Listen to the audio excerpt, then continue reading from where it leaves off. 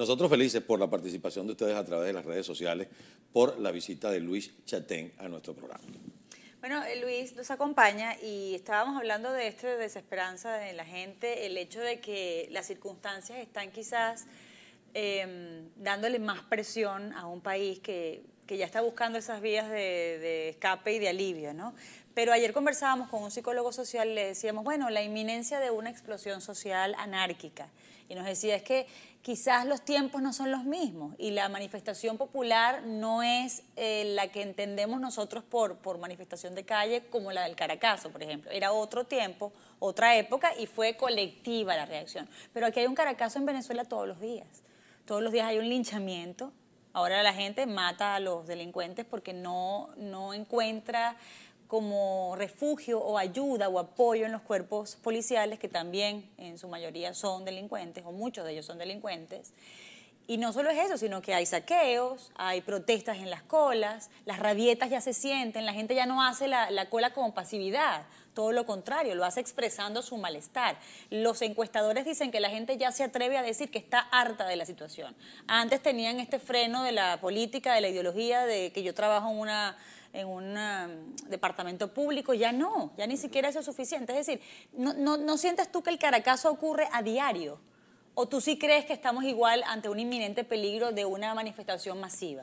Mira, yo no sé. Yo, yo la verdad que ojalá tuviera la, la capacidad de interpretar con precisión lo que está pasando allá. Pero sí siento que eh, es más parecido a lo que tú dices. O sea, nosotros estamos cohabitando con un caracazo en el pecho que peligrosamente podría en algún momento interconectar con el caracazo individual de cada quien y convertirse en, una revuelta, en una revuelta peligrosa. Eh, pero sí te puedo decir que, que la gente está harta, la gente está harta, o sea, no hay una cosa eh, en la que tú digas, oye, qué chévere, vale, entregaron tres casas, ¿ves? Porque es que ni siquiera esas tres casas funcionan. Esas tres casas no tienen servicio de agua. Esas tres casas eh, están rodeadas de malandros y los dueños de la casa probablemente no vivan seis meses. Entonces son tantas cosas. Yo, yo, yo estoy impresionado de verdad de, del nivel al que hemos llegado, porque yo, al igual que ustedes y al igual que muchísimos venezolanos, pues transcurrimos estos, vivimos estos 17 años con una intensidad muy grande. Y al vivir los 16 anteriores, tal vez uno pudo proyectar, mira, yo estoy hecho para esta lucha 16 años más, o hasta que esto se resuelva dentro de dos semanas pero extrañamente las últimas tres semanas han sido, han sido de, una densidad mm. increíble. Y no me preguntes por qué, pero es que como que todo ha hecho... ¿Sabes que estos tipos están empeñados en, obstaculizar la decisión de la Asamblea Nacional? Este, luego el tema de, de la medicina se están agravando tanto.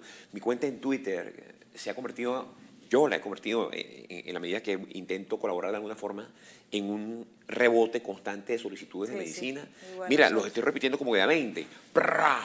Tú entras a mi, timeline y lo que ves es, una solicitud farmacéutica de arriba abajo. Y a diario me escribe una o dos personas diciéndome que lamentablemente la persona murió. ¿Eh? Entonces, e, eso lo leo yo a diario. Oye, Luis, muchas gracias, pero se nos murió anoche.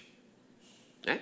Entonces, Tú me dirás si esa persona a la que se le murió este familiar eh, o este ser querido o esta amistad anoche está o no está dispuesta, ¿verdad? A ir a agarrar por los moños, aquí tiene que agarrar por los moños. Entonces, yo, yo soy de lo que deseo con fervor, eh, a ver, ser un perfecto analfabeta en el tema político, eh, no tener la más recontra, perdida idea de, de, cómo se manejan los tiempos de la política, y lo digo, por ejemplo, por la visita de Barack Obama a Cuba donde, donde tiene que haber algo que uno no entiende como ser humano, que le sorprenda en el corto plazo, como para que tú digas, qué bueno que me equivoqué, qué bueno que mi ignorancia era tan profunda, porque, porque las cosas que están pasando tienen que obedecer una estrategia de alguien, ¿verdad? Esperamos. O de, o de dos bandos en los que uno está, mira, por, por comprender a dónde vamos a parar. Luis, en medio de todo esto hay una cosa que nos preocupa a todos, y que es que cuando esto pase, hay, hay una zanja muy grande que estos tipos hicieron de división y que debemos trabajar en pro de la reconciliación. ¿Tú crees que, que, eso, eso es factible a corto plazo? Que esta misma desgracia que le está tocando a chavistas y no chavistas, a ex chavistas hasta hace muy poco, nos va a unir y nos va a reconciliar. Mira, por encima de nuestras pasiones, y yo soy un apasionado, Sí, lo sé. tenemos que, tenemos que hacer ese esfuerzo porque si no estamos perdidos. Y si no lo hacemos nosotros, nos van a pasar por encima los que sí quieran hacerlo. Porque no hay otra manera, no hay otra forma. ¿eh? No hay otra forma. Eh, pero sí es muy necesario, entiendo yo, la justicia. Aquellos de darnos el beso y el abrazo así. eh, yo estoy dispuesto, mira, a, hacer el esfuerzo con aquellos a los que yo no les tenga en mi, en mi carpeta las pruebas como para ju- juzgarlo de alguna forma, de alguna manera. Ese es el perdón y el acercamiento al que yo estoy dispuesto. ¿eh? O sea, yo tengo alguna prueba de que Mario Silva, este tú que te puse, Uf, de que Mario Silva, ¿verdad? Este, haya hecho alguna cosa, no la tengo. Entonces yo tengo que hacer, ay Dios mío, Mario, ven para mi casa, siéntate aquí. Vamos a hablar durante 17 horas, pana. Y nos paseamos por todos los estados anímicos, pero necesariamente tenemos que salir de acá, por lo menos con la intención de vernos de nuevo. Y así tiene que comenzar la cosa. Ahora que yo tengo en mi conocimiento y de verdad, eh, como pre- para presentar la justicia, actos delictivos de Mario Silva, entonces yo no tengo nada que hablar ni que reconciliarme con ese señor. Es. Yo soy el primero que lo voy a buscar en una carreta y lo voy a dejar en la puerta de la prisión. ¿eh? Pero sí es necesario pensar en lo impensable. Y lo impensable, para quienes han atravesado con dolor esta mal llamada revolución, es hacer las paces con alguien que se burló de ti cuando tú te estabas yendo, con alguien que se burló de ti cuando tú estabas cerrando tu negocio, vete para Miami, a Patria, eh, no sé qué cosa. Uno tiene que respirar profundo y tiene que también pensar en qué momento uno pudo haber cometido un error. Porque si no, entonces esto, esto se va a arreglar, pero no en nuestro tiempo. Entonces nosotros queremos que esto se componga en nuestro tiempo, porque el siguiente tiempo es el tiempo de nuestros hijos y nuestros nietos. ¿Quiénes vamos a participar de, de esta solución? Yo creo que sin la presencia de Chávez, que era el gran director de orquesta de esta desgracia, eh, bueno, el resultado lo estamos viviendo hoy día. Esta gente se está cuchillando entre ellos, están haciendo desastres de verdad en el tema de, eh, político, económico. La corrupción es, es insólita. O sea, y si uno abre la prensa hoy día, para nosotros que trabajamos con la información, ver lo que está pasando con, lo- con los papeles de Panamá, lo que está pasando con los muchachos que agarraron los hijos de Cilia, lo que está pasando en República Dominicana con la avioneta con, con las drogas, lo que está sucediendo con Dilma Rousseff, lo que está pasando con en la reapertura del juicio de Antonini Wilson. O sea, eh, hay como una, una ola Sí. de una presunta justicia que se nos viene encima, que ojalá sirva como agua oxigenada para curar las heridas. Tú sabes que eh, en estos días escuchábamos a Luis Vicente León en su show aquí en Miami y decía, o nos recordaba que cuando Pinochet estaba en el poder, iba, estaba por salir, se firma un acuerdo para la transición en el que él se iba a quedar 10 años como ministro de la Defensa. Y quienes estaban sentados en esa mesa firmando el mismo papel era él y el hijo de un hombre, de un disidente a quien él había eh, mandado a, a matar. Entonces él lo exponía como un ejemplo de que, bueno, lo que tú estás describiendo, que llega un momento en el que el país importa más que tu historia individual, ¿no?